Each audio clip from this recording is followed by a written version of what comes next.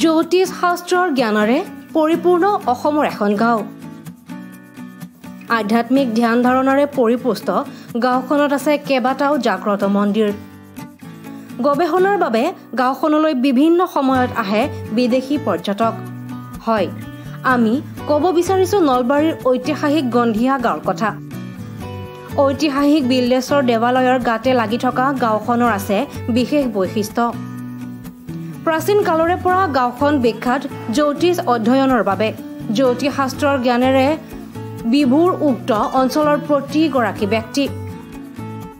জ্যোতিষীৰ কথা যেতিয়া মনলৈ আহে তেতিয়া নলবাৰীবাসীৰ মনলৈ আহে গন্ধিয়াৰ কথা। কালক্ৰমত শিক্ষাৰ ক্ষেত্ৰত আগবঢ়া হেতুকে গন্ধিয়াবাসীয়ে প্ৰায়ভাগে চৰকাৰী চাকৰি লাভ কৰিবলৈ সক্ষম হয় আৰু আন একাংশই বিভিন্ন ব্যৱসায় বাণিজ্য কৰি পৰিয়াল পোহপাল দিয়াৰ লগতে স্বাৱলম্বী হ'বলৈ সক্ষম হয়।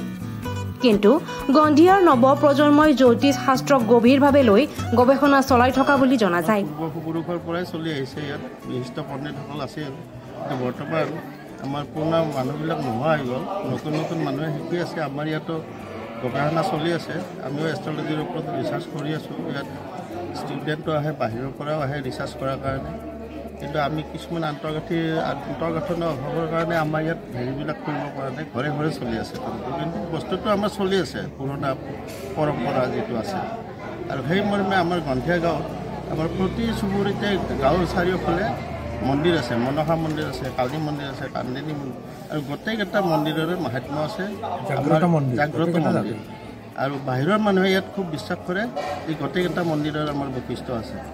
আৰু বিভিন্ন ধৰণে আমাৰ প্ৰতিটো মন্দিৰৰ পৰা ফলাফল পায় বুলি আমাৰ বিশ্বাস আছে। এক কথাত জ্যোতিষ শাস্ত্ৰৰ পৰা আজিও বিচলিত হোৱা নাই উক্ত অঞ্চলৰ ৰাইজ। আধ্যাত্মিক ধ্যান ধাৰণাৰে পৰিপুষ্ট উক্ত অঞ্চলৰ কেইবাটাও স্থানত আছে জাগ্ৰত মন্দিৰ। পৰৱৰ্তী সময়ত অতি মাহাত্ম থকা উক্ত অঞ্চলৰ মন্দিৰসমূহলৈ ভক্তৰ সোঁত বয়। তেনে এক মন্দিৰ হৈছে শ্ৰী শ্ৰী নৱগ্ৰহ দেৱালয়। আজিৰ পৰা পঁয়ত্ৰিছ বছৰ আগতে স্থাপন হোৱা নৱগ্ৰহ দেৱালয় আজি জাকত জিলিকা হৈ উঠিছে। প্ৰতি শনিবাৰে ভক্তই পূজা অৰ্চনাৰ বাবে ভিৰ কৰে উক্ত দেৱালয়ত।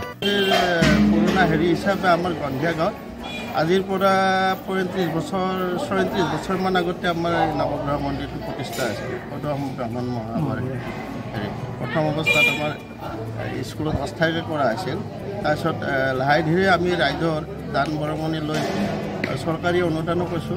আমি আমাৰ মাননীয় স্থানীয় বিধায়কৰ পৰা।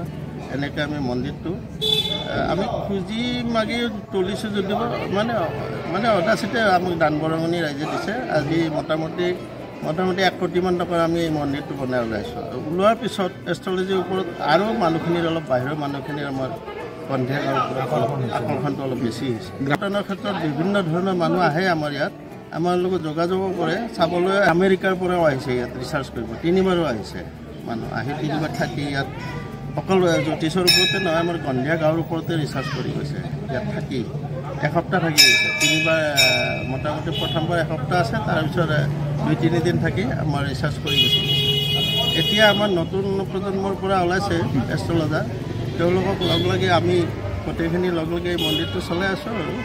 প্ৰতি বছৰৰ মানে ফাগুনৰ শুক্লা দশমীৰ পৰা চাৰিদিনীয়াকৈ তাত যজ্ঞ কৰা হয় প্ৰতি বছৰ। যথেষ্ট মানুহ তাত যথেষ্ট মানুহ হয়। ইয়াত তাৰমানে দহ হাজাৰ আহুতি হয়। নাৰিকল ঘি আৰু পঞ্চশটা ইয়াত আহুতি হয়। তাত বহুত হাজাৰ হাজাৰ মানুহে আহুতি অংশগ্ৰহণ কৰে বাহিৰত। নলবাৰীৰ পৰা ৰাজেশ বৈশ্যৰ ৰিপৰ্ট লোকেল এইটিন